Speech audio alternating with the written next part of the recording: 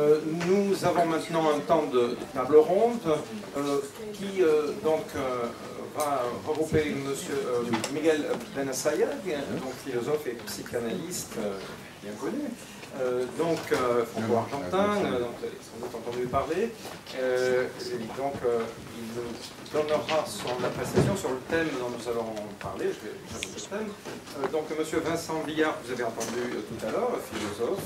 M. Didier Cornel, spécialiste des questions de longévité, représentant euh, de l'association Technoprog ainsi que de l'association Heals. Et enfin, M. Anders Sandberg, que nous avons entendu ce matin, philosophe à Oxford, donc Future of Humanity Institute. Le thème qui nous réunit ce soir, qui va être donc l'axe central, euh, donc, eh bien, c'est la mise en question du paradigme médical. Jusqu'à présent, quand on parle de médecine, euh, eh bien, euh, il y a quelque chose d'à peu près clair, ou qu'on croit à peu près clair, on croit comprendre, savoir ce que ça peut être que la médecine. par exemple, on s'entend à dire que la médecine, elle a pour objectif la thérapie elle a pour objectif principal euh, de restituer ce qui a pu être perdu, notamment après euh, un traumatisme, une maladie, euh, etc. Le transhumanisme en arrive à mettre en question ce paradigme. Et ce questionnement, donc du transhumanisme, commence à être repris dans d'autres sphères. Par exemple, cet été, le Comité national d'éthique euh, français, donc, euh, s'est saisi de cette question à travers un, avis portant sur la neuroamélioration, ce qui a été appelé neuroamélioration, qui a été traité donc euh, d'ailleurs ce matin. Et dans ce cadre-là, arrive, en arrive à se questionner simplement, de manière assez neutre, en se disant que, eh, eh bien, on en arrivait à une mise en question de ce paradigme médical, en se demandant simplement euh, dans quelle direction irait la société. Bon, derrière, évidemment, euh, son travail de comité qui s'adresse euh, donc à la représentation nationale, et donc il formule un certain nombre de recommandations, mais il termine sur une note tout à fait ouverte, hein, donc tout à fait dans l'interrogation. Alors, nous allons demander, je vais demander aux personnes que nous avons réunies ce soir, euh, si elles veulent bien euh, nous euh, dire quelle est leur, position par rapport à ce concept, donc paradigme médical. Est-ce qu'il est concevable ou non, et pourquoi oui ou pourquoi non, de passer d'un paradigme de, la médecine donc, qui envisage essentiellement la thérapie à un, paradigme qui pourrait envisager l'augmentation ou amélioration je donne la parole euh, à Monsieur Ben Assayeg pour euh, une petite présentation, euh, donc 5-10 minutes rapidement, et puis donc on, voilà, on donnera la parole à, tout le monde comme d'habitude avant un échange direct. Monsieur Ben Assayeg, je vous passe le micro. Merci, bonjour. Et, bon, en fait, je regrette un tout petit peu qu'il n'y ait pas d'autres cliniciens, parce que j'ai une activité de chercheur dans une interface entre l'épistémologie et la biologie, mais aussi j'ai 30 euh, ans de clinicien, euh, surtout en psychiatrie, mais bon, quand même, un rapport clinique avec la maladie. Bon. Et alors, euh, bon, d'abord, euh, c'est vrai que j'étais un tout petit peu surpris en arrivant. Euh, je peux le dire, hein, j'ai oublié de préciser quand même, parce que de notre responsabilité, donc nous sommes évidemment très déçus. Non, non, j'allais dire autre chose. Ah, d'accord, mais moi je, le dis, moi je le dis, nous sommes très déçus que monsieur Alexandre, qui a fait un magnifique exposé hier, n'ait pas pu être présent avec nous ce soir. Nous sommes désolés. mais bon, j'espère que voilà, la table ronde que nous non, non, non, je voulais dire toute autre chose, juste pour commencer d'une façon un peu comme ça, amicale, disons. Comme je vous dis, en tant que clinicien, j'ai travaillé pendant 30 années en psychiatrie. Là, maintenant, j'ai continué à avoir une clinique psy, euh, une pratique de clinique psy, mais bon, plusieurs à la recherche. Mais quand je suis entré là, euh, j'ai cru que je m'étais trompé des portes parce que j'entends une jeune femme dire qu'elle était d'accord d'être immortelle, mais qu'elle voulait quand même peut-être avoir le droit de mourir. Alors je me suis dit, tiens, une présentation des cas, pourquoi pas, je pensais que ça ne se faisait plus, mis à part à 100 ans. Bon, Et ça, pose le cadre, hein, ça pose le cadre, hein, que, que, que, quelqu'un réclame de mourir. Vous voyez comment en Afrique aujourd'hui il y a tant de privilégiés qui ont le droit de mourir très jeunes, heureusement quand même pour eux. Alors bon, une fois qu'on dit ça, parce que quand même c'est la surprise en arrivant quand même, et je voulais euh, juste euh, un tout petit peu donner un contexte dans lequel pour un clinicien se pose la chose aujourd'hui, le contexte, n'est-ce pas? Alors, euh, d'abord, il faut dire par rapport à la problématique des, que je n'appellerai pas transhumaniste, parce que bon, je ne me permets pas, je ne connais pas bien les concepts, mais les concepts que, oui, je connais en tant que chercheur et clinicien de l'hybridation du vivant avec euh, la technique, euh, la technologie plutôt, euh, par rapport à l'hybridation du vivant avec la technologie, pour dire quelques éléments de contexte rapide, effectivement, nous pensons, nous sommes beaucoup à penser comme ça, que nous sommes, l'espèce humaine en tant qu'espèce est en train de vivre une troisième grande mutation par une hybridation massive, énorme, profonde et irréversible. La première mutation est celle à travers laquelle euh, l'espèce humaine devient une espèce parlante, hein, c'est-à-dire dans laquelle tout à coup, euh, voilà, euh, il y a autre chose qu'une communication par phéromone, par cri, par geste. Il y a une langue qui émerge comme une combinatoire autonome, n'est-ce pas?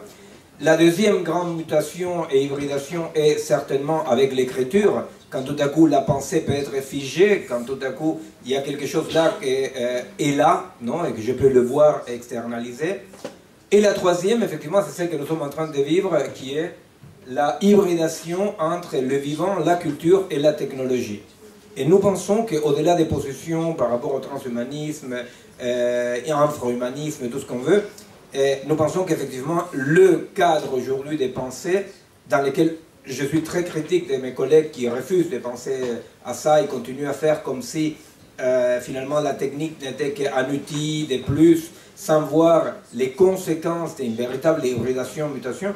Bon, dans ces cadres-là, effectivement, mon travail en tant que la recherche, et là où je me euh, centre avec des gens comme Giuseppe Long et autres gens du CREA, bon, pour ceux qui connaissent, euh, nous essayons de comprendre cette articulation entre la technologie et les vivants en essayant d'étudier cette interface avec tous les problèmes qu'un optimisme compréhensible mais démesuré ignore des euh, les euh, régimes de fonctionnement différents et comment l'hybridation peut se faire ou peut pas se faire en disant très clairement qu'à chacune de ces grandes mutations, parlons de l'écriture parce que là on connaît mieux, n'est-ce pas Et c'est vrai que la puissance émergente, pour dire comme ça, l'écriture, n'est-ce pas, une nouvelle puissance émergente, tend à coloniser le vivant, n'est-ce pas, tend à coloniser la culture, tend à devenir très très centrale. Et c'est vrai qu'il y a toujours une conflictualité entre écriture et langue et le vivant. Par exemple, pour dire clairement, les choses qui sont possibles de dire ou de penser ne sont pas possible peut-être de vivre, voyez C'est-à-dire qu'il y a une incompatibilité. De ce point de vue-là, pour aller vite, nous partons des modèles dans lesquels il n'y a pas une synthèse qui fait une unité entre langue euh, espèce humaine, écriture espèce humaine et technologie espèce humaine. C'est les modèles et les hypothèses à travers lesquels nous, nous travaillons. C'est-à-dire qu'il y a une conflictualité qui parfois prend la forme de la colonisation de l'une par l'autre, ou d'une certaine symbiose, hein, d'une certaine symbiose. Hein. Euh, de ce point de vue-là, euh, effectivement, nous pensons que, euh, étant donné l'éblouissement, le fantastique de la technologie actuelle, surtout dans les champs médical et biologique, pour le moment, il y a un gros déficit de la part d'une pensée et une compréhension profonde et complexe de la singularité du biologique et qu'on est dans un moment dans lequel il y a une colonisation trop forte, de notre point de vue, trop forte de la part de la technologie vers le biologique et, le, euh, et la culture. C'est-à-dire que nous pensons, voilà, pour contextualiser la chose rapidement, nous pensons qu'on est dans un moment où cette hybridation a lieu, cette hybridation est irréversible, mais cette hybridation se fait avec une puissance synchronique très très forte qui balaye tout ce qui est de la longue durée, de l'évolution, euh, de la diachronie du vivant se manifeste qui apparaît comme simple bruit dans une technologie beaucoup trop gagnée, à ce qu'on pourra revenir tout à l'heure si vous le souhaitez, à une théorie, une idéologie de l'information. Bon, alors d'un point de vue médical, ce que je veux dire pour poser les débats, euh, notre très cher euh, Georges Canguilhem, dans un de ses travaux fondamentaux, il explique qu'un organisme sain ou un être sain préfère toujours suivre son destin, suivre ses affinités électives, même au risque de la santé. Alors je veux juste poser le débat de ce point de vue-là, en regrettant effectivement que la partie biologique ne pourra pas être traitée dans cette euh, table ronde. Mais bon, alors mettons la question de la problématique médicale pure. Alors, d'un point de vue clinique, pour nous en tant que cliniciens, quand j'ai un patient devant moi, je peux effectivement considérer tous les items de santé possibles. Mais il y a quelque chose de la singularité de mon malade, de mon patient, qui tient à ce que Canguilhem m'appelle d'une façon un peu peut-être poétique le destin, qui fait que par exemple, quand j'ai un patient qui a un problème d'alcoolisme, je dois voir si son rapport avec l'alcool ne tient pas peut-être à sa singularité de vivant, à son rapport au monde, et que donc peut-être mon acte clinique ne doit pas être un acte d'une virilité conquérante dans laquelle j'écrase les symptômes, mais je dois tenir en compte ce double axe entre la santé et son mode de rapport au monde. Je vous rappelle qu'au Japon, il y a des pénalités qui vont jusqu'à emprisonnement pour le paiement de l'amende pour les personnes trop grosses, par exemple. C'est-à-dire qu'on voit bien comment il y a une uniformisation du vivant par la prise en compte simplement de l'axe santé, santé augmentable, sans tenir en compte la singularité. La singularité, par exemple, puisqu'on parle, on parlera tout à l'heure de la culture sourde, eh bien, l'implant cochléaire est une augmentation possible, effectivement, mais le problème, c'est que l'implant cochléaire, par, une, euh, par la possibilité d'un diagnostic trop précoce très précoce de surdité, risque d'aller vers une clinique, que d'une une clinique dans laquelle je ne tiens compte que le quantitatif de la santé des possibles, sans tenir en compte la singularité des qui est la personne auquel est les groupes avec lesquels j'ai affaire.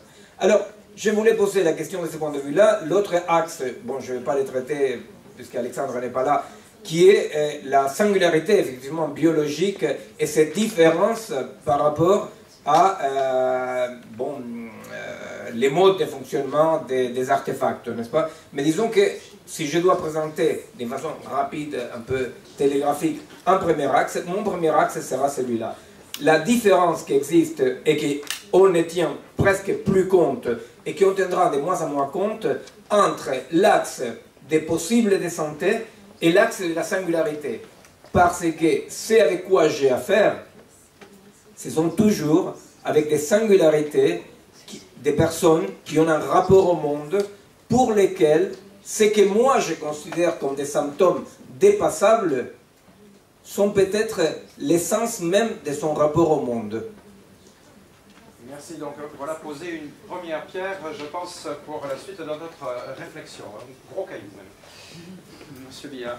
Alors, euh, bon, en ce qui concerne euh, la, comment, qu'on pourrait définir comme l'essence de, de, la médecine, il y a pas mal de travaux aujourd'hui en philosophie qui sont assez critiques par rapport à l'éthique médicale, et notamment, euh, je pense à, un mouvement qui est euh, beaucoup plus ancien dans les pays euh, anglo-saxons, mais qui, qui, commence à être assez populaire en France aujourd'hui, hein, qui est toute l'interrogation philosophique sur le care, hein, c'est-à-dire sur le fait de prendre soin,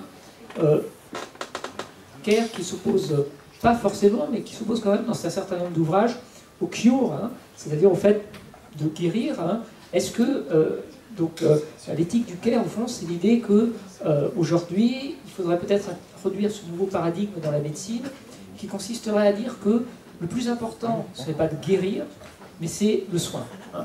C'est-à-dire qu'il le plus important, ce n'est pas de considérer que la médecine aurait des objectifs, on va dire technoscientifiques, qui consisteraient à guérir les gens des maladies qu'ils ont, mais qu'en réalité, peut-être qu'il y a une approche plus humble à avoir de, la médecine, qui consiste à dire qu'elle ne peut pas faire de miracles, et qu'il y a peut-être une autre dimension à creuser, à investiguer aujourd'hui, qui serait euh, la dimension du soin, alors euh, avec une, par exemple une, perspective euh, souvent sociale, puisque par exemple le soin, c'est majoritairement par exemple des gens dans les hôpitaux qui le pratiquent, qui ne sont pas au sommet de la hiérarchie, et donc on se rend compte que les personnes qui prodiguent le soin sont en réalité souvent celles qui sont le moins bien traitées, par exemple, du point de vue social. Et donc il y a quelque chose d'assez paradoxal. Et donc toute l'éthique, euh, enfin toute la réflexion autour de l'éthique du care est extrêmement intéressante. Alors quelque part, on va dire qu'elle vient euh, se confronter aux perspectives transhumanistes, puisque l'éthique du care, qui est très en vogue aujourd'hui, c'est une éthique assez humble, qui consiste donc à considérer que la médecine ne peut pas faire de, euh, de miracles, ou que si elle en fait, ce n'est pas forcément comme ça qu'il faut envisager les choses, mais plutôt les envisager comme une diminution générale de la souffrance. Et donc le soin, ça peut être des choses très humbles. Par exemple, ça peut être masser quelqu'un qui est euh, malade, donc ça n'a pas de but curatif, mais c'est un but de soulager la douleur. Alors là-dessus, ce qui me paraît très intéressant peut-être, c'est qu'on peut peut-être faire un lien, malgré tout, hein, même si euh, les éthiques du care sont souvent opposées à la médecine traditionnelle, ou en tous les cas, il y a des tensions très fortes avec cette idée que euh, la médecine a des objectifs qui ne sont pas toujours forcément euh, atteignables, ou en tous les cas des objectifs démesurés, euh, trop ambitieux, ou par exemple, hein, aujourd'hui, ce dont on peut accuser peut-être le transhumanisme par certains aspects, c'est de laisser envisager des choses qui n'ont que peu de rapport avec la réalité. Hein.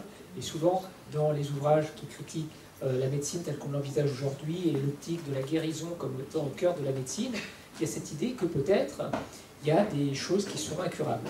Alors malgré tout, euh, il me semble que si on considère que le plus important dans l'éthique du care, c'est euh, la diminution de la souffrance, le soin qu'on peut apporter sans objection, sans objectif de, guérir forcément, il y a malgré tout, là je fais le lien avec ce dont j'ai parlé précédemment, c'est-à-dire l'objectif final par des moyens plus radicaux et différents du transhumanisme qui pourrait être de euh, diminuer la souffrance. Si on se base sur cette idée de la diminution de la souffrance comme but, euh, on va dire, de la médecine, comme essence peut-être de la médecine, il y aurait dans ce cas-là un fossé moins important entre ce qu'on pourrait considérer comme la thérapie d'un côté et l'augmentation de l'autre. Et encore une fois, si on se base sur l'éthique du handicap, par exemple, qui montre que le handicap est quelque chose de relatif, finalement, il y a une question de degré de l'un à l'autre. Hein, c'est-à-dire qu'entre celui qu'on guérit et celui qu'on améliore, au fond, on fait peut-être en réalité que guérir tout le monde de ce euh, handicap général par rapport à la vie, qui est le fait que nous connaissons tous dans nos vies la souffrance. Et donc le transhumanisme pourrait être présenté dans cette optique comme euh, l'idée qu'il y a effectivement une continuité, peut-être radicale, peut-être excessive, et par certains points euh, qui peut être elle-même problématique, puisque euh, la médecine crée des normes, et donc en créant des normes, en créant des, comme ça euh, une vision du patient qui n'est peut-être pas la perception que le patient a lui-même, c'est vrai qu'elle impose quelque chose de manière assez forte et parfois de manière assez violente. Et donc, malgré tout, si on tient ce fil de la souffrance comme possible lien entre toutes ces, ces interrogations, il y a peut-être cette idée de percevoir le transhumanisme donc comme une continuation de euh, l'éthique du care. Merci. Je vais devoir demander à M. Colonel et à, un tout petit peu plus court peut-être que leur prédécesseur, parce qu'on a grappié, ce serait dommage quand on n'ait plus assez de temps pour euh, l'échange. Euh, merci.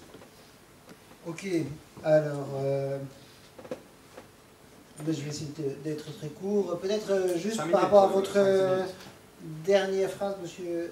Euh, l'essence même du rapport au monde pour les êtres humains, pour moi, c'est de se dépasser soi-même, tout simplement. Et donc l'être humain a toujours voulu se dépasser soi-même, notamment dans les domaines médicaux.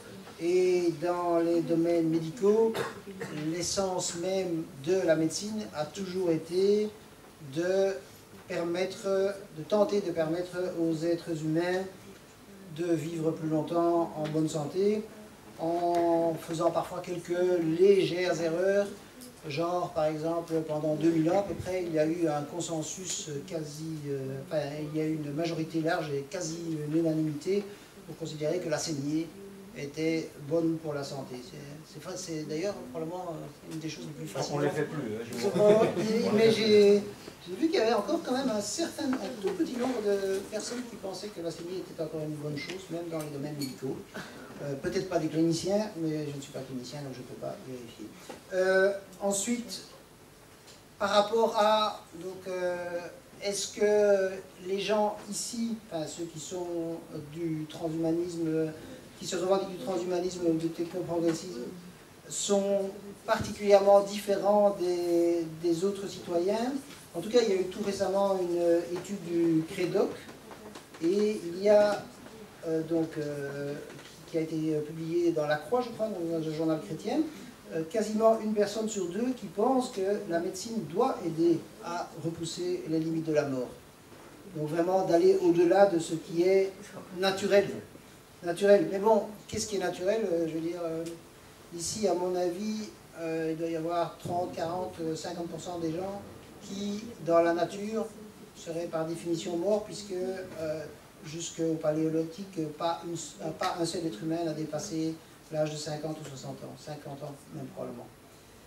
Donc il y a dans, dans ce, selon cette étude, quasiment une personne sur deux qui pense que la médecine doit aider à repousser les limites de la mort, et plus de jeunes et plus de femmes que dans la population, la moyenne de la population, qui pense que la médecine doit dépasser les... Euh, euh, les simples missions euh, curatives. Voilà, ça c'était pour quelques mots d'introduction, donc c'est moins de, même moins de, de 5 euh, minutes. Ouais, non, peut-être encore une phrase. Je veux dire, la médecine a toujours eu pour objectif de permettre une vie plus longue en bonne santé. La différence entre la médecine aujourd'hui et la médecine jusqu'il y a un siècle, même jusqu'il y a 50 ans dans certaines euh, régions du monde, c'est que dans un pays comme euh, la France ou comme la Belgique, euh, c'est plus de 95%, et dans le monde, c'est plus de 80%, des, enfin plus de 75% des décès qui sont liés aux maladies liées au vieillissement. Et donc, la médecine, par définition, si elle veut euh, s'attaquer, enfin permettre une vie plus longue en bonne santé, elle ne peut s'attaquer que aux questions euh, qui sont liées au vieillissement. Il y a une seule région du monde qui n'est pas concernée. Ce n'est pas, vous dites l'Afrique, en fait, c'est pas l'Afrique, c'est une partie de l'Afrique, l'Afrique euh, subsaharienne, parce que dans, dans, un pays comme le Maroc ou comme l'Algérie, l'espérance de vie, elle est celle qu'on avait ici en France il y a à peine 30 ou 40 ans. Voilà.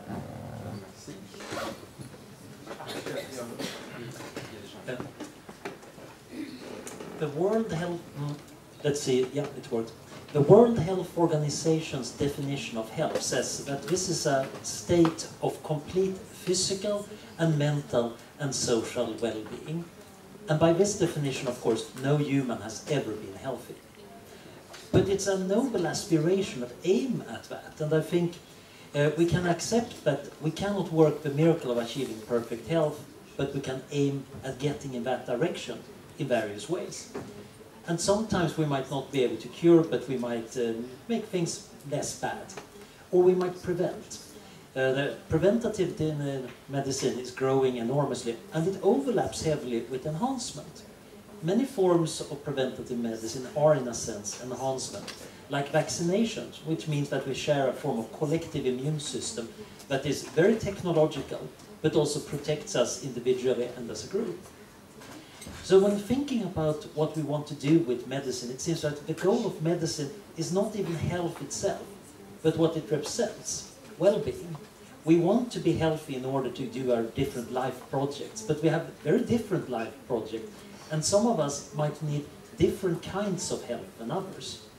I don't need much uh, muscles in order to do my life project, because they're mostly involved in intellectual pursuits. But uh, my brother, he likes to climb in trees. He needs his muscles and would be very upset if uh, he couldn't do that uh, thing. So what I think might be happening is that transhumanism opens for a much more individualized set of health projects, life projects and health projects. Some of these ones are going to be relatively easy to do. Others might still require miracles and we cannot achieve them and, uh, for the foreseeable future. But I think we are now moving beyond this view of a singular, one single health concept, even if it's a very general one. And we're instead realizing that there are quite a lot of different things we can do. Caring is an important part of our social health and has been unduly neglected. We might want to think about how to put that into our technology, and typically that requires design and social thinking, something we're much less good at than the, the doing the natural sciences. But I think transhumanism can add some things to the table because of the wild individualism and ambition existing in transhumanism. On a peut-être une gradation de points de vue, c'est un petit peu le, le hasard. Euh, mais euh, donc, euh, donc Miguel voilà, je ne sais pas à quelle partie de ce que vous avez entendu, qu'est-ce qui me fait réagir le plus non, par rapport bien sûr à cette, cette question donc du, la mise en cause, enfin est-ce que d'abord vous considérez que cette mise en cause est justifiée? Et de ce que vous avez entendu, il y a des choses qui vous paraissent plus ou moins excessives par exemple Non, bien entendu que c'est une très bonne panel publicitaire, euh, il est très prudent. Euh, parlons clairement, hein, c'est-à-dire euh, le transhumanisme parle d'une hybridation possible dans laquelle on pourra par exemple recueillir toute l'information qui existe dans le corps ou dans la tête de quelqu'un et les mettre sur un disque dur, hein, n'est-ce pas? Et donc, qu'est-ce que vous voulez qu'on parle? C'est-à-dire que là, c'est un peu une fiche publicitaire. Effectivement, je suis d'accord avec les vaccins tout en sachant que la vaccination, quand même, euh, a connu aussi un excès et qu'après, il y a une autorégulation biologique.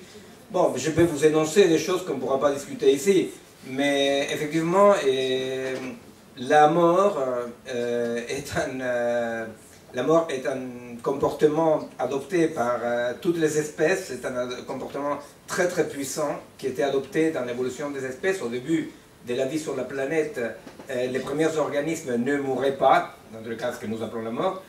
Et effectivement, la mort est un euh, comportement très puissant parce qu'il permet que les individus actuellement existants d'une espèce n'épuisent pas toutes leurs ressources et qu'effectivement, ils puissent euh, s'axer pas seulement sur le fait d'être un individu, mais d'être aussi un appartenant à l'espèce et à une communauté.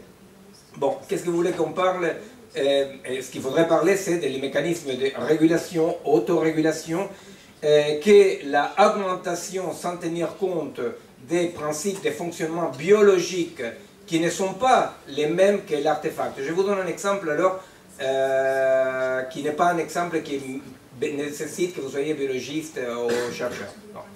La mémoire humaine, la mémoire organique. Les mécanismes de mémoire fonctionnent à travers l'oubli, la sélection et la modification. C'est ce qu'on appelle la mémoire, n'est-ce pas? Alors il existe même un conte, euh, peut-être quelqu'un quelques parmi vous le connaissent, du grand Jorge Luis Borges, l'écrivain argentin, qui s'appelle Funes le Mémorieux. Qu'est-ce qui se passe avec Funes le Mémorieux? Funes le Mémorieux, il souffre une torture incroyable, il ne peut pas oublier. Or, L'oubli, par exemple, est un mécanisme qui permet l'existence de la mémoire, vous comprenez? Donc je sais qu'on ne va pas discuter de biologie, je le regrette profondément parce qu'il faudrait discuter sérieusement et non pas des affiches publicitaires, de vous vivrez plus long et mieux, je sais pas quoi. Et le problème c'est que euh, la régulation, la autorégulation des systèmes n'est pas l'autre des systèmes. L'autorégulation le limite, les limites du système font partie vitale, nécessaire et centrale du système. Alors, le problème, c'est qu'effectivement, là, rien n'était dit de cela, on a parlé des vaccins, et effectivement, les vaccins, il y a eu un excès dans les vaccins parce que justement, on a euh, euh, opéré à l'époque déjà une sorte de réductionnisme qui ne tenait pas en compte l'organicité, les limites, etc. Avec l'antibiotique, on sait aussi qu'il y a eu un excès. Aujourd'hui, les excès des antibiotiques, les excès des vaccins risquent de rester dans une préhistoire romantique et fantastique si on ne tient pas compte qu'on est dans un défaut de penser les limites organiques de régulation des systèmes comme nécessaires pour protéger la vie du système. Alors, il y a derrière ceci une métaphysique très profonde, qui est la métaphysique que Michel Foucault, votre compatriote, décrit, quand il dit que dans les biopouvoirs, c'est-à-dire euh, ça, les biopouvoirs, dans l'époque du biopouvoir, dans la postmodernité, les biopouvoirs, qu'est-ce qui va se passer? Qu'est-ce qui se passe? Il se passe que la santé, la santé disciplinaire, la santé dans laquelle on dit qu'est-ce qui est plus, parce que quand on parle d'augmenter, augmenter par rapport à quelle grille? Bah, Par rapport à une grille d'efficacité, par une grille artefactuelle, par une grille économique. Ok, Michel Foucault dit, dans les biopouvoirs, aujourd'hui, la santé remplace le salut. Ah, ce n'est pas que je propose de revenir au salut, bien entendu. Ce que je dis simplement, c'est qu'effectivement, il existe une charge très très forte idéologique, des promesses, métaphysiques. Je regrette qu'Alexandre n'est pas là pour vous expliquer que demain on va tous entendre, voir, euh, les paralytiques vont marcher, les aveugles vont voir. C'est fantastique quand on dit ça, c'est fantastique. Simplement, ce qu'on oublie, c'est l'autre volet de la recherche biologique, qui est les mécanismes d'autorégulation à tous les niveaux biologiques, dans lesquels pas tout est bottom-up, et on oublie systématiquement les mécanismes top-down, les mécanismes effectivement qui font qu'un système ne puisse pas s'augmenter sans se diminuer. Ou comme il dit, le Suisse euh, Rousseau, hein, il dit, avec les progrès, le problème c'est qu'on connaît ce qu'on gagne, mais on ignore ce qu'on perd. Eh bien, nous voudrions, les chercheurs euh, un peu moins éblouis par la technologie, sans être du tout technophobes, parce que je répète, je crois que l'hybridation est irréversible, eh bien nous voulons simplement rappeler que dans un mécanisme de hybridation, de modification, il faut se rappeler aussi qu'on perd, comme dirait Rousseau. Je vole le micro une seconde, je me le permets. Euh, juste euh, pour dire que donc, peut-être que nous n'allons pas rentrer dans le détail euh, biologique euh, dans le, profond, peut-être, mais il, me semble qu'il n'est pas interdit tout de même de réfléchir avec les éléments que nous comprenons, que nous connaissons, de se projeter un minimum. Non, ce que je ne veux pas, c'est, euh, je refuse en général, c'est que serait un argument d'autorité en n'ayant pas d'autres médecins, d'autres biologistes dans la table ronde, si j'avance des arguments des recherches biologiques, ça fait des arguments d'autorité. Donc je vais limiter les arguments à des conceptions, euh, à des concepts plutôt d'épistémologie, n'est-ce pas? Où je me permets de dire que d'un point de vue de la neurophysiologie, voilà, la perte est fondamentale pour la sculpture des cerveaux. Alors effectivement, effectivement, l'hybridation implique un recyclage neuronal, par délégation des fonctions, n'est-ce pas, comme euh, Stanislas Dehaene, votre compatriote, explique de façon très clairement, n'est-ce pas C'est sûr que l'hybridation implique externalisation de certaines fonctions. Je ne suis absolument pas, ni en tant que clinicien, ni en tant que chercheur, effrayé par le fait de que certaines fonctions que jusque-là étaient le monopole de l'humain soient hybridées. Mais par exemple, il faut tenir en compte que cette architecture cérébrale sera changée. Par exemple, un môme qui apprend à faire une racine carrée, eh bien par plasticité cérébrale, par recyclage neuronal, etc., connaît une modification immédiate de son structure, de son architecture cérébrale, qui développe des connexions, des réseaux, développe des neurones. Un môme qui appuie un bouton pour obtenir les résultats ne développe pas ça, développe d'autres capacité neuronale, plus dans les feedbacks. Un mec qui conduit avec un GPS depuis qu'il commence à conduire développe une sorte de dyslexie, euh, euh, disons, des laboratoires. Pourquoi? Parce que les noyaux qui s'occupent du repérage temporo-spatial, donc de la cartographie, s'atrophient. Je ne suis pas technophobe, je dis oh quelle horreur. Simplement, l'idée de l'augmentation sans perte est, comme il dit Aristote, une connerie. Merci beaucoup. Alors, donc la parole à monsieur. Peut-être qui veut la prendre, qui veut répondre. On n'est pas obligé de respecter d'ordre euh, euh, quelconque. Voilà. Euh, donc, déjà, you have a mic. Uh, thank you. Well, as a lapsed computational neuroscientist, I'm interested also in the spontaneous orders that underlie the brain. Uh, indeed, it turns out that the cerebral cortex has this amazing property that if you connect the visual... Okay, let me try it again. Yes, this might be here. Uh, as a lapsed computational neuroscientist, I'm quite interested in the way the brain can organize itself. Uh, the spontaneous orders in the cerebral cortex, yeah, the, the spontaneous uh, orders in the cerebral cortex are a beautiful example of self-organization. If you connect the visual nerve to what would have normally been an auditory cortex, you actually develop a visual area in that region, if you do it early enough. And similarly, my friend Todd Huffman, he implanted a magnet in his finger. Now, when that magnet is subjected to a magnetic field, it moves, sends signals using the normal somatic uh, connections to his somatosensory cortex. But uh, non, non, non, non, Après, je vais répondre parce que c'est pas tout, c'est un peu, un peu une simplification quand même d'un point de vue neurophysiologique. Ok, on laisse, dans le terme des choix, c'est un problème de volume. Donc, euh, okay, uh, Anders and uh, Miguel, will uh, My point is, uh, that magnet turns out to probably have developed as a new sense now. He can distinguish between mechanical and uh, electromagnetic vibration. And he's using this enhancement thanks to the ability of his brain to develop. He does this as a central enhancement. And this seems to be very opposite to your example of pressing buttons versus learning how to draw square. There are enhancements that actually exploit the brain's ability to adapt. On va peut-être une réponse courte quand même pour euh, permettre. Non, euh, non, cela le plus courte possible. Oui. Dans tous les cas, euh, bon, je pense que c'était pas clair. Euh, vous n'avez pas bien compris, malheureusement, j'étais pas clair quand je dis. Les micros, Pardon. Quand je dis c'est pour assurer qu'il soit court, ne me donne pas le micro.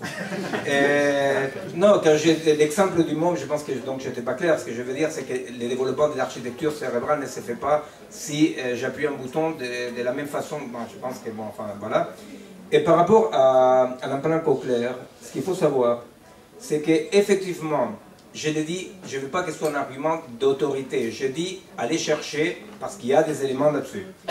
Le problème est que dans le transhumanisme et dans l'idée de l'homme augmenté, il y a une hypothèse de base sans laquelle rien ne marche et que tout est information codifiable. Effectivement, les travaux que nous avons faits avec Pierre-Henri Bouillon, avec d'autres biologistes, et justement en essayant de montrer qu'il y a un savoir corporel, justement celui qui ne peut pas se modéliser et se transférer dans un ordinateur, dans un disque dur, il y a un savoir corporel que nous appelons une information non codifiable, pour dire comme ça, qui fait que dans le cas du sourd, le sourd de naissance, il a structuré son corps, son rapport au monde, à travers une information non codifiée par les langages parlés, mais par d'autres voies d'accès. Donc le sourd de naissance, il a une subjectivité perceptive qui donne une subjectivité conceptuelle différente.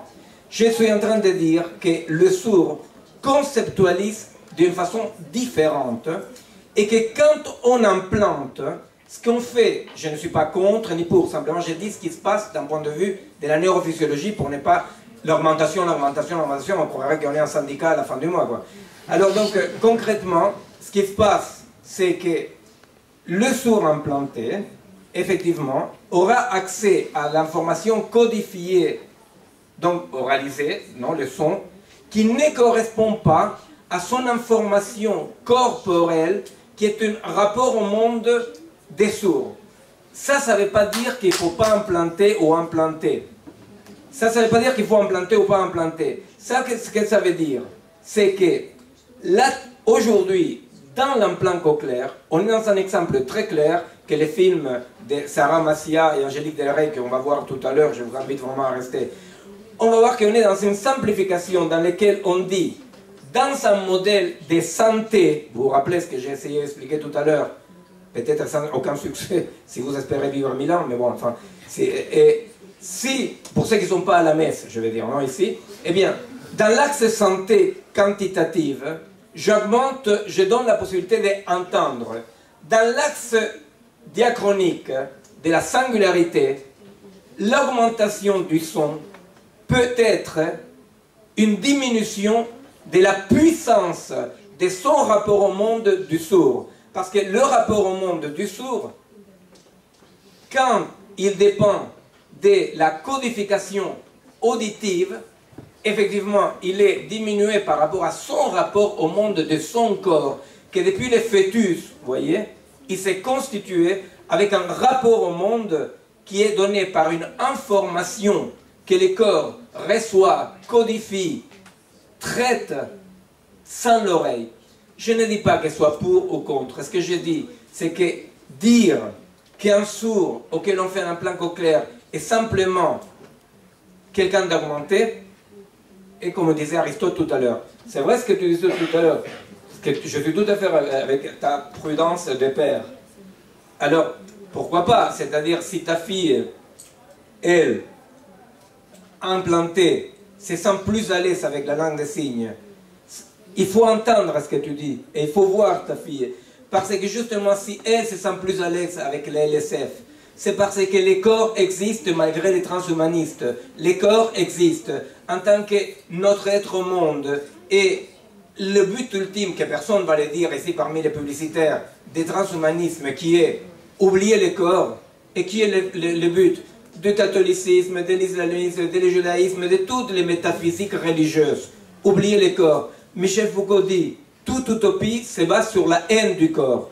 Eh bien, la haine du corps, elle est passée tout entièrement dans ces projets-là. Pourquoi? Parce que le corps du sourd, le corps du sourd est structuré d'une façon, et si je le fais entendre, pourquoi pas Mais je ne la remonte pas je le modifie d'une façon peut-être malheureuse. C'est n'importe quoi de réduire le transhumanisme à l'absence du corps. Là, je, me permets de, en effet, Miguel, de le dire.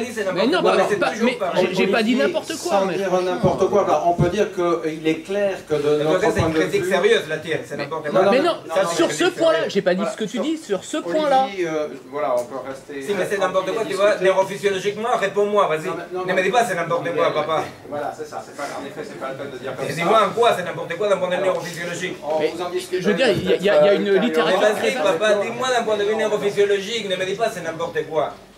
Dis-moi d'un point de vue neurophysiologique, où est la faille dans ce que je t'ai dit Vas-y, vas-y, tu as passé le bac, je dis ça.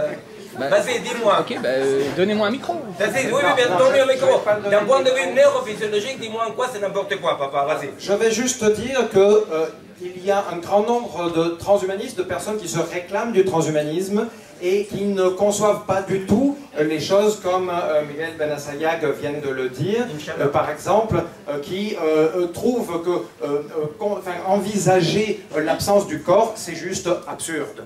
Et je me permets, excuse-moi Miguel, je, me permets de dire que je, je connais mieux les transhumanismes, les transhumanistes, je pense que ce que tu dis, que je, parle je parle de leur singularité, je les côtoie depuis longtemps, et donc j'ai une, une, certaine perception tu n'as peut-être pas toi-même, et euh, je peux te dire que euh, la très grande majorité, on va dire 90 à 95%, ne sont pas du tout dans ce chemin-là. Par contre, il y en a, c'est tout à fait vrai, euh, qui sont dans de la spiritualité, alors, je te dis un truc. de la métaphysique, alors, je vais dire la religion. Alors je te dis un truc, réponds-moi sur la, part en général. Il y a quand même, d'un point de vue épistémologique, ça c'est quand même compréhensible pour tout le monde, une hypothèse de base, qui est l'hypothèse de la théorie de l'information, après lequel tous les processus biologiques pourraient être modélisés parce que tout est information. Cet axe de base, partagé par les tendances plus radicales et les moins radicales du transhumanisme, cet axe de base est un axe qu'il faut interroger. L'idée que tout dans l'existant est de l'information codifiable, l'idée que l'ADN n'est que du code, l'idée de base de la théorie de l'information, de que l'information circule sur un support neutre, ces hypothèses-là, je vous dis comme ça, sont les hypothèses importantes à discuter, à connaître, à conflictualiser, parce que ce sont les hypothèses de base qui aujourd'hui sont en jeu dans l'hybridation du vivant avec la technologie. Je ne vous dis pas ni pour ni contre, ce sont les hypothèses de base que je comptais discuter avec Alexandre, qu'on on développe avec Pierre-Henri Guillon, avec euh, euh, Giuseppe avec d'autres scientifiques, sont les hypothèses de base les plus importantes et aussi à la fois un talon d'Achille. N'est-ce pas? Parce que si pas tout est de l'information codifiable et reproductible, attention parce qu'il y a quelque chose qu'on est en train d'écraser parce qu'on ne considère que du bruit. Je ne sais pas si c'est compréhensible ce que je dis. Merci. Alors, donc, on va donner la parole, bien sûr, à la première réalité euh, Colonel.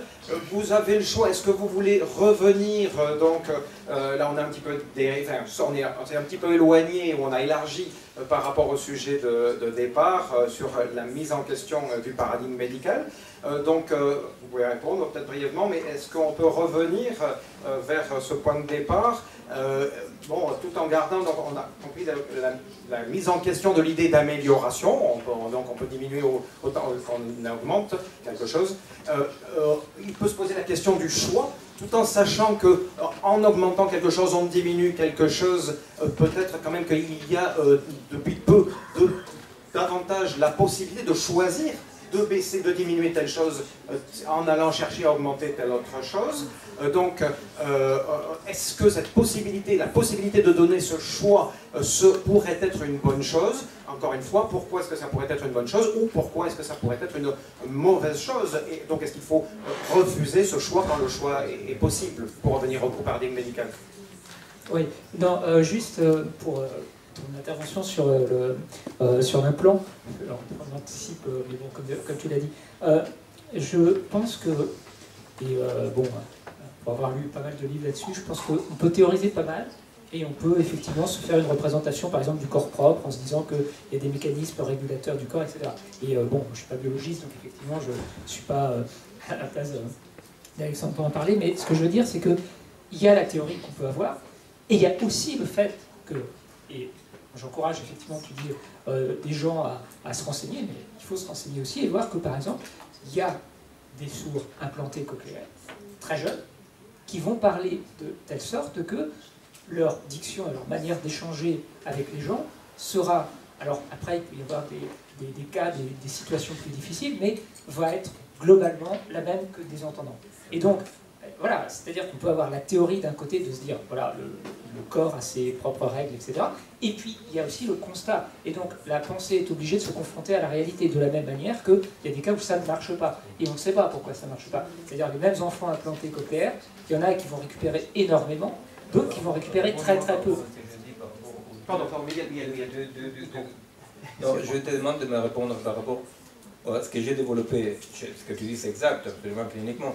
Je te demande de me répondre par rapport à ce que je disais, qu'il y a deux registres d'informations qui sont différents. Les registres corporels et les registres auditifs, et que le sourd, il est structuré par un registre corporel sourd, et que donc l'autre registre peut être très bien adapté, comme tu le dis, c'est vrai, mais que quand même, il reste deux registres différents. Donc un sourd implanté n'est pas augmenté. Euh, je dirais que, objectivement, si on veut regarder les choses, la personne implantée c'est pas, euh, ce n'est plus tout à fait un sourd, parce que quand il y a un échange, on va dire que pour n'importe qui qui regarde les choses, je dis dans les cas où ça marche. Il y a des cas où ça marche vraiment, je l'ai vu, je l'ai constaté, tout le monde peut le faire, parler avec des sourds qui sont implantés, qui sont des sourds profonds, et qui parlent, euh, voilà, comme vous et moi, et qui ont un échange. Euh, alors encore une fois, et là ça dépend de la, puissance du processeur, on va dire c'est toujours pas encore très au point, ça marche bien en vision directe, en échange direct. Hein. Mais euh, quand il y a de, la foule et plusieurs personnes qui parlent en même temps, là c'est beaucoup plus compliqué. Donc eux-mêmes reconnaissent que là ça marche pas. Mais on va dire que quand, quand, on se parle comme toi et moi, là par exemple, ça marche. Donc je dirais que la personne qui a cette augmentation, elle n'est plus sourde, mais elle n'est pas entendante. Donc c'est en quelque sorte la création de quelque chose qu'on pourrait appeler un sourd non sourd.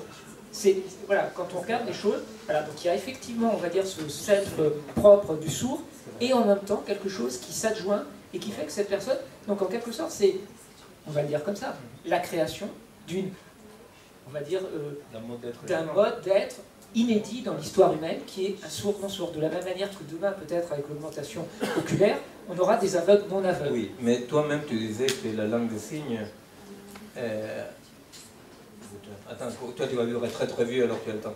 Et, alors, toi-même tu disais que la langue des signes risque de disparaître, n'est-ce alors moi je trouve quand même qu'il y a quelque chose dans l'amélioration, dans l'augmentation, tu vois, qui d'un point de vue biologique, euh, systématiquement, au moins met éclipse, tu vois, l'effet biologique de la diversité et la variabilité comme condition de vivant, tu vois.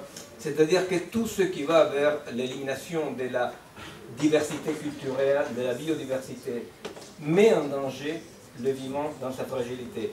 Alors je pense que la disparition d'une culture comme la culture sourde, d'un mode d'être, est regrettable. Est regrettable et ce n'est pas une augmentation. Moi je pense qu'un monde sans sourd est un monde diminué.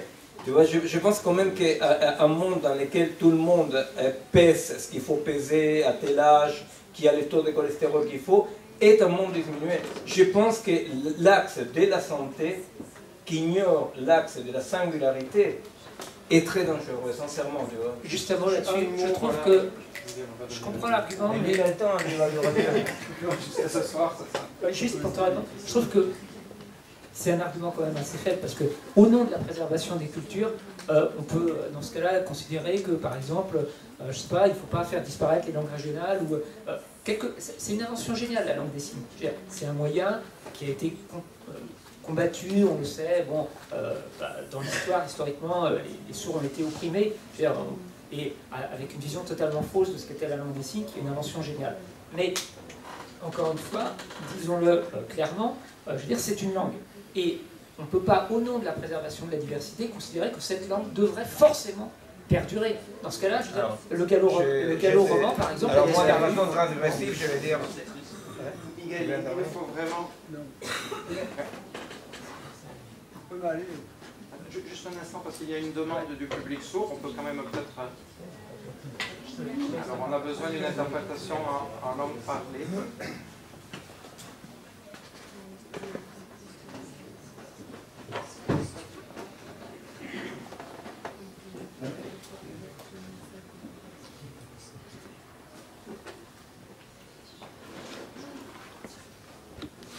au niveau de hein, pour les interprètes, c'est mieux que, que, je me mette comme ça, comme ça, tous mes, tous mes collègues peuvent me voir. Hein. Bon, désolé, ça c'est un souci technique. Bon, c'est vrai que tous vos discours, c'est intéressant, hein, mais c'est vrai que je ne connais pas tous vos prénoms, moi je connais quand même euh, M. Benassayag. Euh, c'est vrai qu'un enfant implanté, euh, on se demande, on se demande quelle est son identité, quelle est sa place. Parce que bon, il est né humain, moi, je suis né sourd, euh, voilà, je connais ma place, c'est clair, mon identité est claire. Un enfant implanté, c'est un mystère, ça va devenir un mystère. Moi, je connais plusieurs personnes euh, qui, ont, eu des enfants, qui ont grandi. Moi, vous ne voyez pas tous, moi j'en ai vu des, enfants sourds et des, situations très graves, j'en ai vu euh, situations assez critiques. Et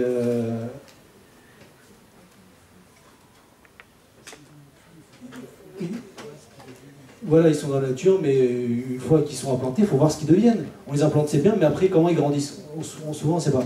Et souvent, ça finit par euh, des personnes isolées. Euh, et du coup, ils finissent par euh, se poser des questions. Il y a des détachements dans la, dans la communication.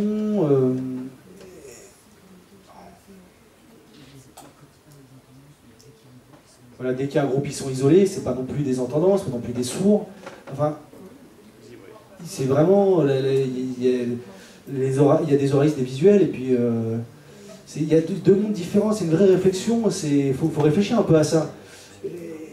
du coup, ils, sont dans une position un peu instable, et, euh, et, la langue des signes, c'est une langue vivante, vivante qui a une valeur. Et,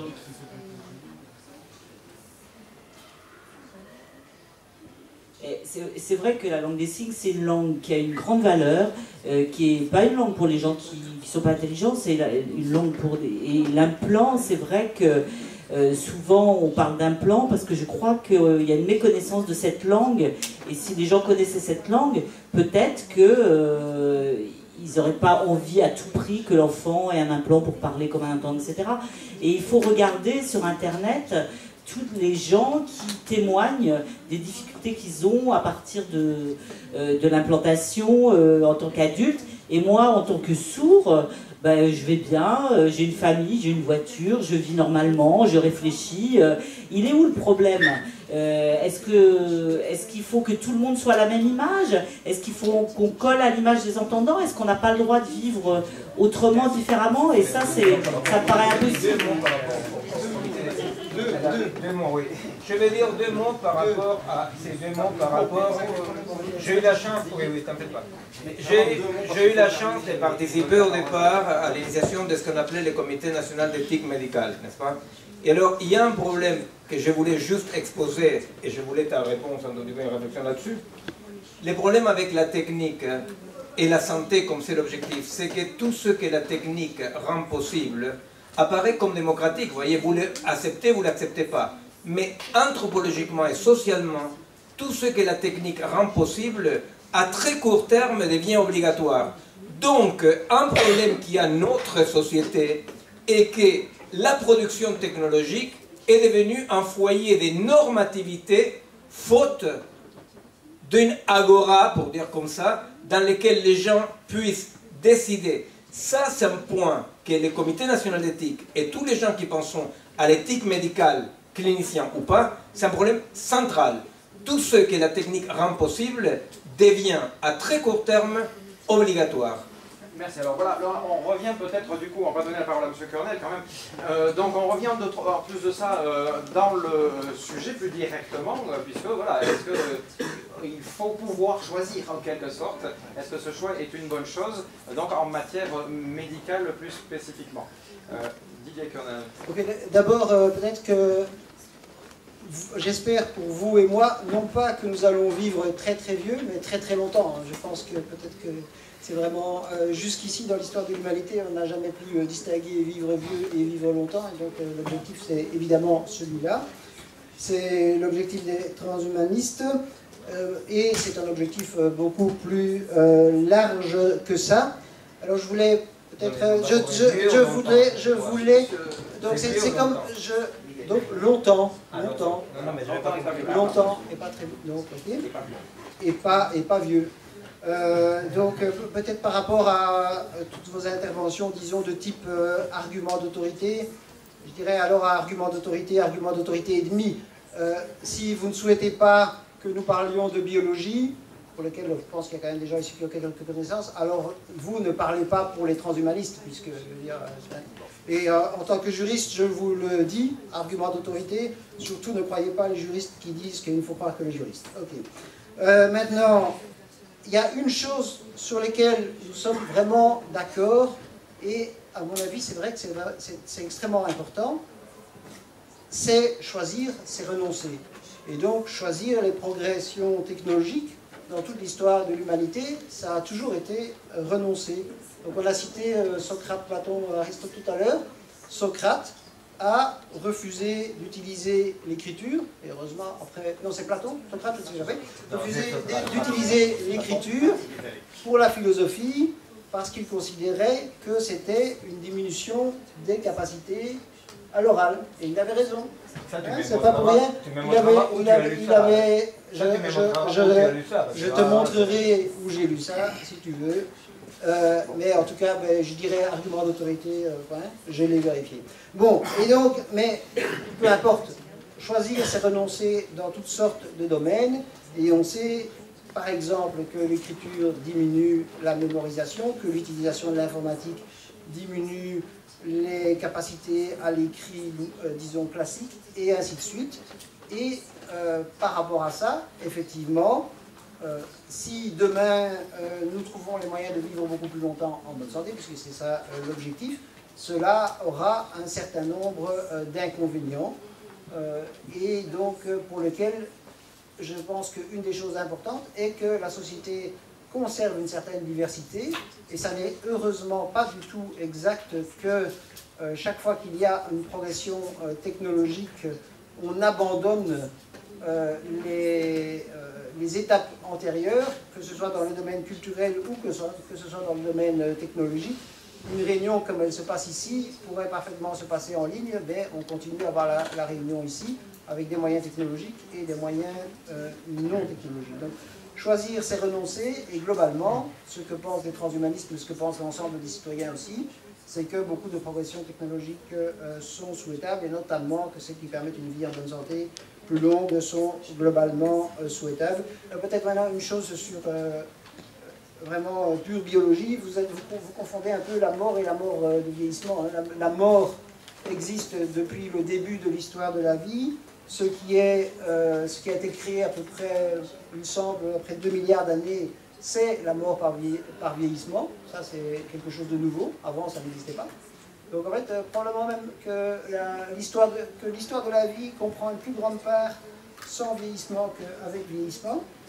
Et puis, euh, comme vous êtes spécialiste, vous savez qu'il y a un certain nombre d'organismes qui ne vieillissent pas, probablement extrêmement peu d'animaux, peut-être même aucun, mais euh, des formes de plantes qui n'ont pas de mécanisme. Pardon? Il y a probablement un certain nombre d'animaux, mais un tout petit nombre qui n'ont pas. Oui, donc la méduse, la méduse Turritopsis nutricula. Euh, et, mais pour celle-là, il y a des controverses, les hydres également. Oui, oui donc euh, vous souriez, mais bon, bah, pour ne pas pleurer, je ne suis pas encore euh. Occupons-nous à partir des méduses euh, qui peut-être donc arrivent à se soigner euh, plus ou moins toutes seules. essayons de revenir sur l'humain et sur ces tentatives donc de, de, se soigner. J'ai plus de micro. donc, est-ce que ça peut être souhaitable? Merci.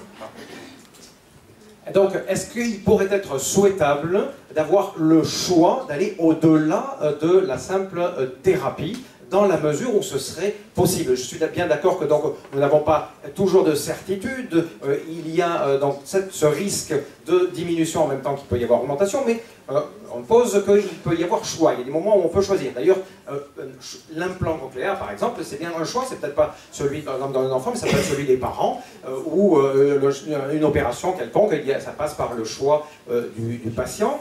Euh, est-ce que l'idée qu'au moment, euh, enfin, qu'à un moment donné, on pourrait demander à son médecin euh, d'avoir un petit peu plus que la simple, le simple retour à la, entre guillemets, beaucoup de guillemets, normal, du simple retour à la normale, est-ce que ça pourrait être quelque chose de, de, positif individuellement et collectivement?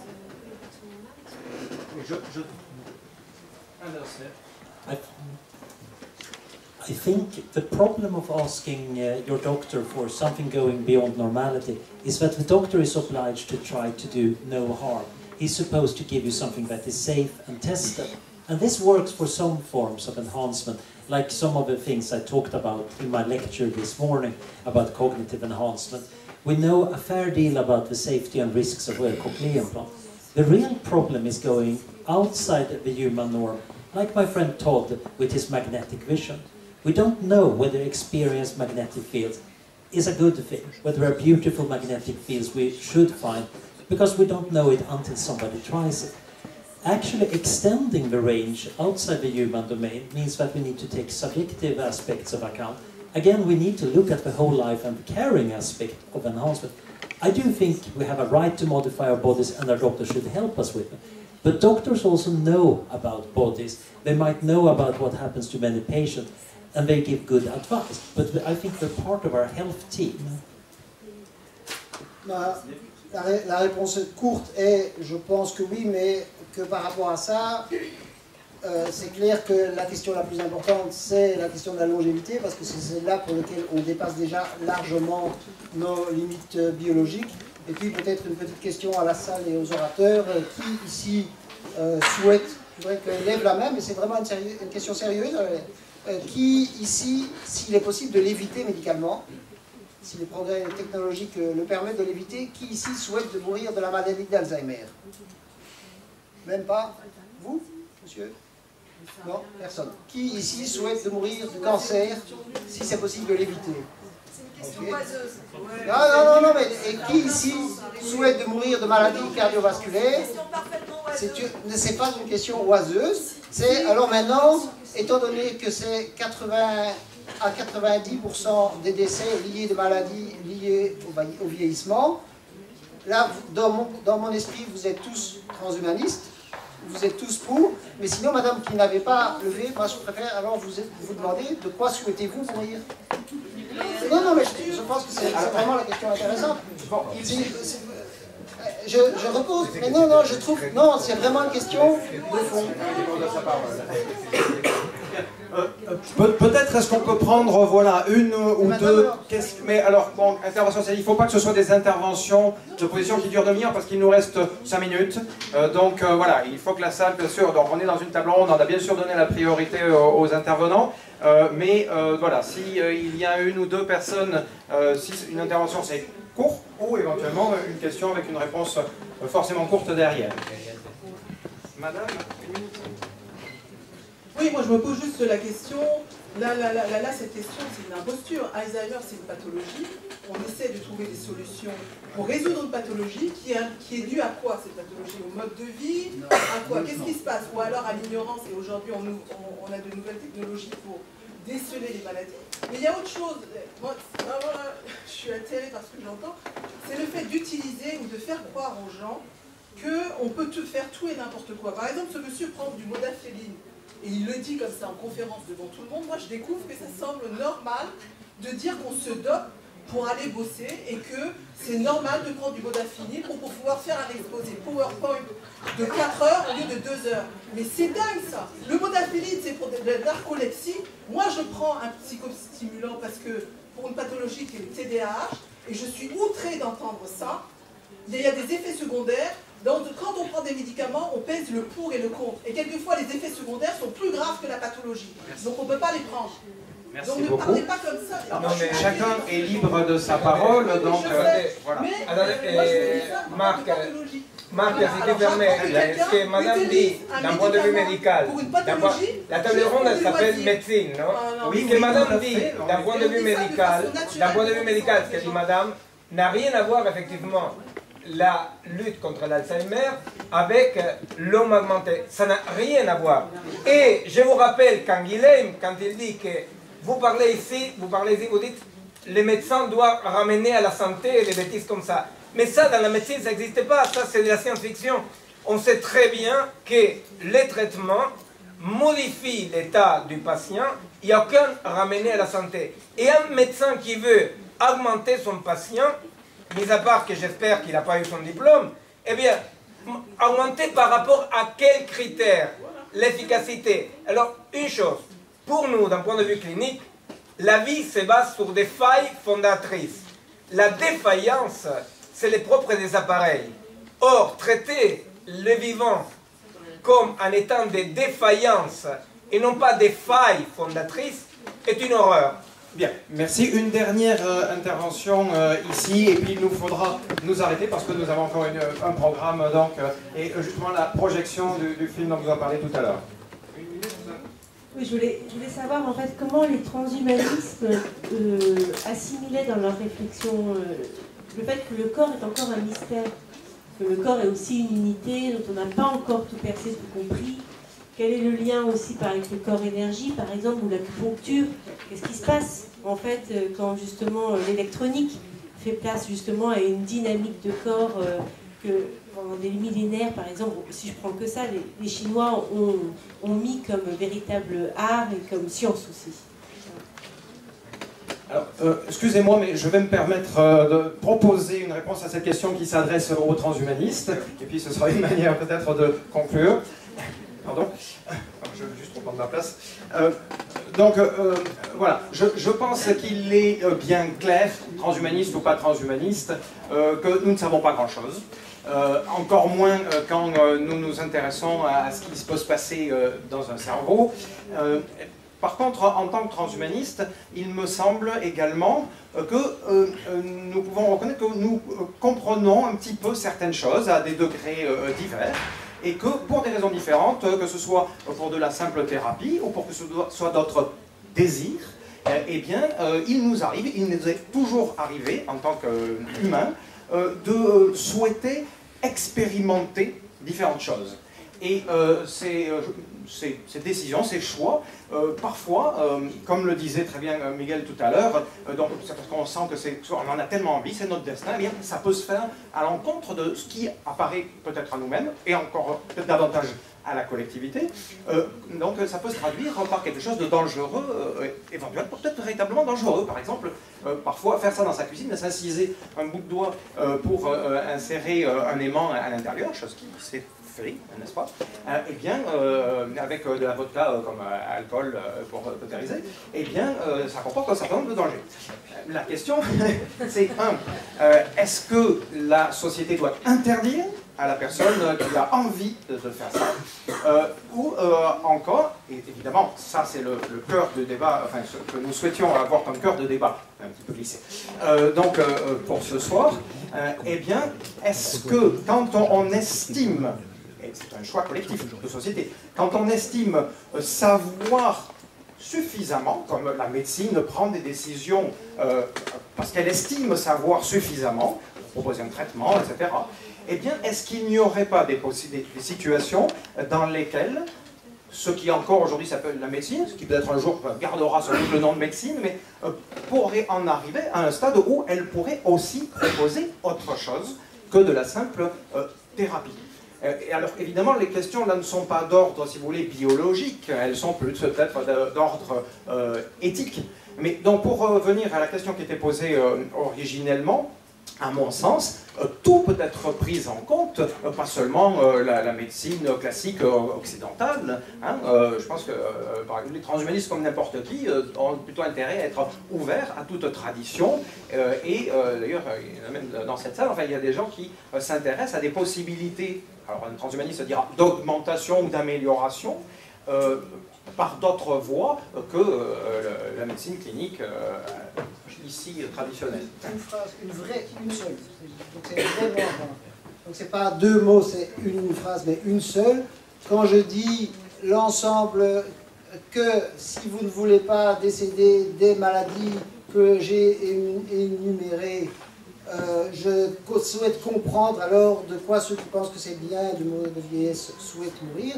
C'est une vraie question. Donc j'ai entendu une personne qui disait, même deux personnes qui réagissaient. Donc là, moi j'insistais pour qu'on donne, la parole, mais ça n'est plus possible. Mais alors je propose qu'on en discute à la sortie parce que c'est vraiment euh, ce que je pense, je ne comprends pas là. Voilà. Bon, c'est une ouverture au dialogue, un appel au dialogue, et j'espère qu'on aura d'autres occasions de, discuter, en effet. Alors nous nous interrompons euh, ici, euh, on a mangé un petit peu sur notre temps, sur cette table ronde qui était un petit peu plus vive et animée peut-être que d'autres...